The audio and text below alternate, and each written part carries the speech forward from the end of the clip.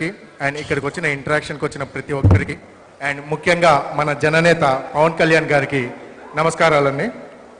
నా పేరు doctor G Ganesh Kumar. నేను కామర్స్ డిపార్ట్మెంట్లో పోస్ట్ డాక్టరల్ ఫెలోగా వర్క్ చేస్తున్నాను. నేను శ్రీకృష్ణదేవరాయ యూనివర్సిటీ నుంచి వచ్చాను సార్.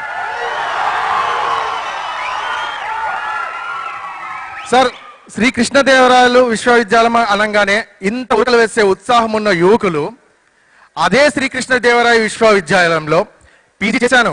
పిహెచ్డి చేశాను. పీడిఎఫ్ చేస్తూనే ఉన్నాను.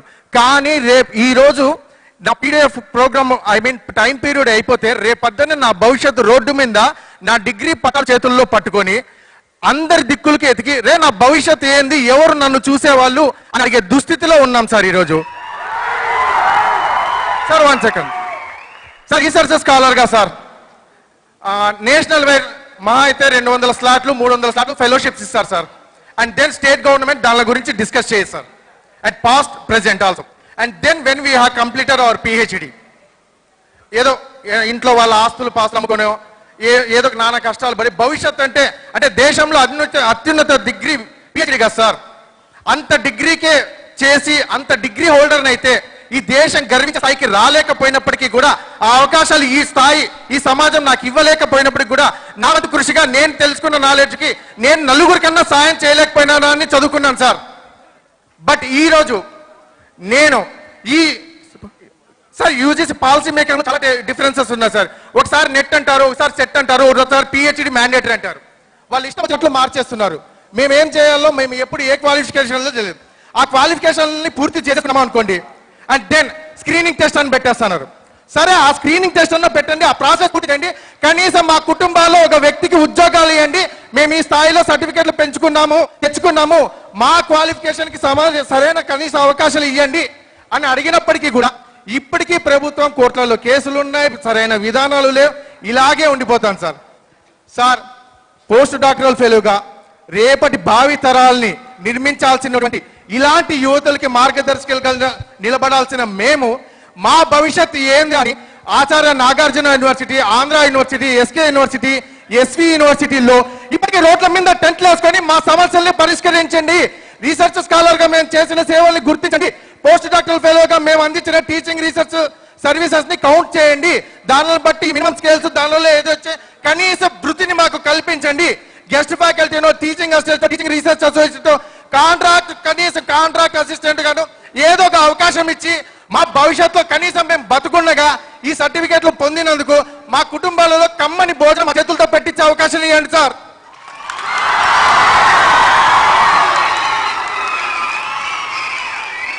థ్యాంక్ యూ సార్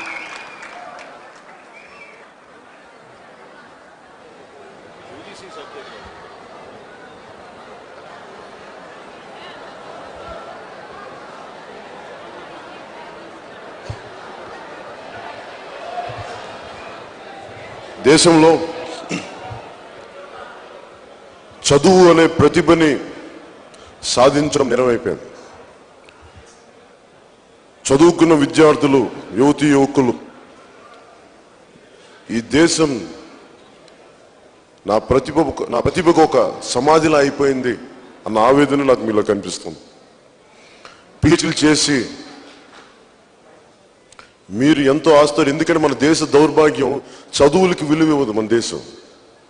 గుండాలకి రౌడిజంకి వర్గాలకి ఇచ్చినంత విలువ చదువులు చదువుకున్న సరస్వతులకి ఇవ్వదు. అది మన దౌర్భాగ్యం మన దేశ దౌర్భాగ్యం. అంటే వాళ్ళకి తోలు ఎంత మందంగా అయిపోయిందంటే చింతపరికేసి కొట్టినా కానీ వాళ్ళకి వాళ్ళకి మా- వాళ్ళకి చింతపరికితో కొట్టినా కానీ వాళ్ళకి స్వ- ఏమంటుందండి? స్పందించడం పోయింది. దీనికి చురక్క పెట్టేలా మాట్లాడాలంటే క- కాల్చాలి అంటే జ్ఞానంతోనే కాల్చాలి. మీరు నిరాశ నిస్పృహలకు గురైపోయి నిజమే పిహెచ్డి చదువుకొని ఇన్విజిలేటర్గా వ్యవసాయం చేస్తే ఉపాధి హామీ పథకం కింద వెళ్తేనేమో ఒక నాలుగు వందలు ఐదు వందలు ఇస్తారు. అలాంటిది పిహెచ్డి చదువుకొని నేను మీ ఆవేదన అర్థం చేసుకోగలను ఒక ఇన్విజిలేటర్కి వెళ్తే వంద రెండు వందలు ఇచ్చే పరిస్థితి. నేను ఇన్ని కష్టపడి ఇన్ని రాత్రులు చదువుకున్న పిహెచ్డి తీసేసి చేయడం ఎంత కష్టమో నాకు తెలుసు. శారీరక శ్రమ అయితే ఒక ఒక కష్టం అయితే మనం చదవడం మననం చేయడం మెంటల్ మజిల్ డెవలప్ చేయడం చాలా శ్రమతో కూడుకుంది. ఆ బుద్ధిజీవిగా తయారవడం చాలా కష్టమైన ప్రక్రియ అది. అలాంటి పరిస్థితుల్లో మీ ఆవేదన నేను అర్థం చేసుకోగలను. నేను ఎట్లా ఆలోచిస్తున్నామంటే మేమందరం ఎడ్యుకేషనల్ పాలసీని సమూలంగా మార్చాలి. ఎప్పుడైతే రాజకీయ శక్తులు పొలిటికల్ పార్టీస్ ఆంధ్ర యూనివర్సిటీలో కానీ కృష్ణదేవరాయ యూనివర్సిటీలో కానీ మన ఎస్విలో కానీ మిగతా యూనివర్సిటీలు ఎక్కడైనా సరే రాజకీయ ప్రాబల్యం ఖచ్చితంగా నేను వచ్చి తగ్గిస్తాను. నేను ఖచ్చితంగా జనసేన వచ్చి తగ్గిస్తాను మొట్టమొదటి ఎందుకంటే ఇది యూనివర్సిటీ అనేది యూజీసీ పర్వ్యూలో వస్తుంది. కానీ స్థానికంగా ఉండే స్టేట్ అడ్మినిస్ట్రేషన్ ఇన్ఫ్లుయెన్స్ తోటి గ్రాంట్స్ బయటికి రావు. విద్యార్థులు మంది పిహెచ్డి వస్తుంటే వాళ్ళు బయటికి వెళ్ళి చేయాలి వాళ్ళని పంపించాలి వాళ్ళకి వాళ్ళ మేధస్సును ఉపయోగించుకోవాలి. అసహనంతో ఏం చేస్తారు? ఇంత పిహెచ్డీలు చదివి దానికి అవుట్లెట్ లేకపోతే మనుషులు ఏం చేస్తారు? సినికల్గా తయారవుతారు. కోపాలు వస్తాయి తాపాలు వస్తాయి. వాటి వైషమ్యాలు వస్తాయి. ప్రాంతీయ వైషమ్యాలు వస్తాయి. ఇవన్నీ ఆపడానికి ముందుగా మేము చేయదలుచుకుంది రాజకీయాల తాలూకు వ్యవస్థ తాలూకు పొలిటికల్ లీడర్షిప్ తాలూకు ఇన్ఫ్లుయెన్స్ యూనివర్సిటీస్లో తగ్గాలి చంద్రబాబు గారు చాలా తెలివిగా లేదు డస్ట్ ఎక్కువైపోయి దగ్గు వస్తుంది.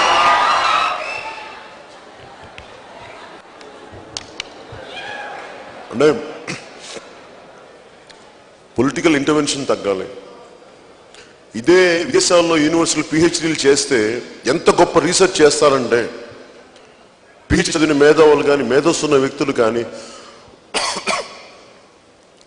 వారి ఒక్కొక్కసారి ఒక్కొక్క ఒక పిహెచ్డి తీసేస్తే ఒక దేశ దేశం తాలూకు దేశాన్ని మార్చేస్తాయి. సో మీలాంటి పిహెచ్డి ఉన్న వ్యక్తుల్ని ప్రత్యేకించి యూనివర్సిటీల తాలూకు చాలామంది రాజకీయాలకి సంబంధం లేని మేధావుల్ని ఒక కమిటీగా నియమించి అన్ని యూనివర్సిటీస్ మీద అసలు ఏమేమి జరుగుతున్నాయి జనసేన ప్రభుత్వం వచ్చి చేస్తుంది ఖచ్చితంగా మిమ్మల్ని ఇంకా మీరు ఎప్పుడు కూడా వచ్చి బాధపడకూడదు మీరు. యూనివర్సిటీలని ప్రక్షాళన చేయాల్సిన అవసరం ఉంది. విద్యా వ్యవస్థని ప్రక్షాళన చేయాల్సిన అవసరం ఉంది. ఇంత కష్టపడి చదువుకున్న మీ మేధస్సుని దేశానికి నిర్మాణానికి ఉపయోగపడే చేయాల్సిన అవసరం ఉంది. అవన్నీ నేను చేసి పెడతాను. మేము మీకు అండగా ఉంటాను. ఇది కొంచెం కష్టమైనప్పటికీ నాకు కొంత సమయంగా ఇవ్వగలిగితే మీ సమస్య నేను మరింత కూలంకషంగా మాట్లాడే పరిస్థితి నేను ఇంకొక రోజు తీసుకొస్తాను సమయంగా తెలియజేస్తాను. Thank you next